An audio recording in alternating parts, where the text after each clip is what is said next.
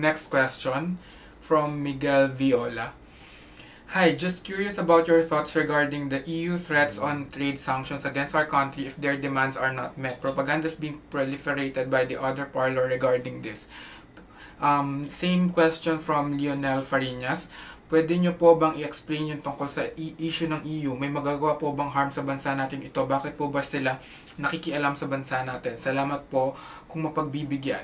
Uh, may nabasa akong article ni Sir um, Tiglao, Rigoberto Tiglao. Um, I'll link it in the description. The title is um, uh, Fake News, EU Threatens Trade Sanctions. Dun sa article niya, sinasabi niya na this isn't true um, the EU, uh, I mean, yung news or the news being proliferated by the opposition is basically fake news because he mentioned that the EU did not threaten trade sanction.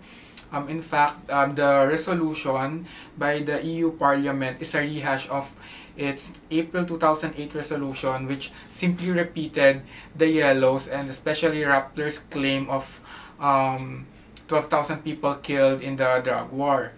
Ang sabi din niya, yung kaibahan lang dito sa bagong resolution, in-include doon yung demands nila to reopen ABS-CBN and to drop charges against Maria Ressa. Also, he said that the resolution didn't even say that the, e, e the European Parliament threatens to impose the sanction sanctions, but asked the e, uh, EU Commission or European Commission um, to initiate procedure which could lead to the temporary withdrawal of GSP preferences in the absence of substantial improvement regarding in regard to human rights violations. the European Commission has never undertaken such withdrawal of GSP preferences and there isn't even a clear procedure to do so and would require the agreement of all 27 members of the European Union. So, ang sinasabi dito ni Sir Bobby Tiglao, wala pang, never pang nangyari na yung uh, European Commission nag-withdraw ng GSP preferences. Yung GSP preferences, ito yata yung uh, nire-reduce nila yung um, tariff na pinapataw nila sa mga products na galing sa less developed countries. So, ang ibig sabihin kapag may kapag part yung bansa mo dun sa list ng countries na yon mas uh, mura yung um, exports mo sa EU countries. Siyempre, mas tatangkilikin naman na mamimili kapag mas mura yung um, produkto mo, di ba? So, yun yung sinasabi lang trade sanctions. Ang sabi ni Sir Bobby Tiglao sa um, article niya, um, never pa yung nangyari. The European Commission has never undertaken such withdrawal of GSP preferences at wala rin clear procedure kung paano siya gagawin. At kung gawin man siya ng EU, it would require for all 27 members of the European Union to agree na uh, i-withdraw yung preference na yun, na yun sa Pilipinas. So, for now, it doesn't really bother me. Um, and I would also, I also agree dun sa sentiments ng marami na medyo disappointed sila kung bakit ba nakikialam yung EU sa like domestic politics ng mga bansa ng, ng mga bansa. I mean, it, to me, it's like an extension of their, like, of imperialism. Um, yun yung tinatawag ng neo-colonialism. To me, it, parang, uh, parang hanggang ngayon, yung Western society, meron pa rin silang, like, in their minds, they're still, like, uh, they're still imperial masters na kailangan sundin ng mga least developed countries. And, I think, yung mga, you know, I think yung mga, it's time for country for developing countries like the Philippines to stand up to these powers to send a message to them na um, iba na yung panahon. You're not in charge anymore. That we are responsible for our domestic policies. Kung ano man yung maging resulta ng domestic policies natin, we are responsible for that. Wala silang pakialam kung anong gagawin natin sa bansa natin. Sana, uh, I also hope that these countries, especially the European Union and United States, um,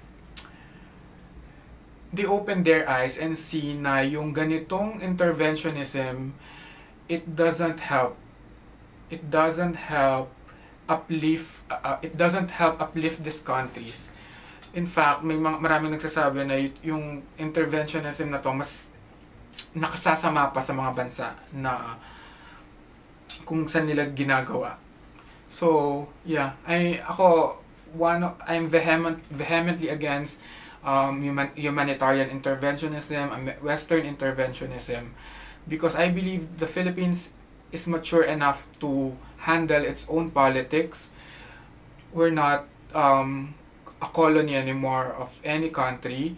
So, kung ano man yung gusto natin gawin natin sa domestic policies natin, foreign policies natin, we should be allowed to do it. Um, unless, syempre, merong mga certain policies that, that would, you know, that are international in nature. Pagdating doon, yeah, fine. EU can, like, comment on them, can, like, propose alternatives. But when it comes to domestic policies, lalo na yung concept of human rights na yan. Yung human rights na yan, they are based on Western standards and therefore, um, they must not be imposed on societies na hindi sila like compatible. I mean, we've seen countries like China, Singapore, Malaysia. These countries, hindi liberal yung views nila ng um, human rights, but they were able to progress. They were able to grow their countries. They, they were able to develop their economies without subscribing to those Western stand, liberal standards of human rights. And um, I think it's the same for the Philippines. Uh, I think minsan we must strike a balance between the rights of individuals and collective good um, when it comes to policy making. Kailangan balanse hindi lang lagi natin parang pinapaboran yung individual rights versus yung ikaga ikabubuti ng lahat. So, yeah, I agree with the sentiments of many na hindi dapat nakikialam yung EU sa domestic policies ng mga bansa. so yeah, that's my opinion, that's my off the top of my mind opinion regarding the EU trade sanctions daw na hindi totoo. okay.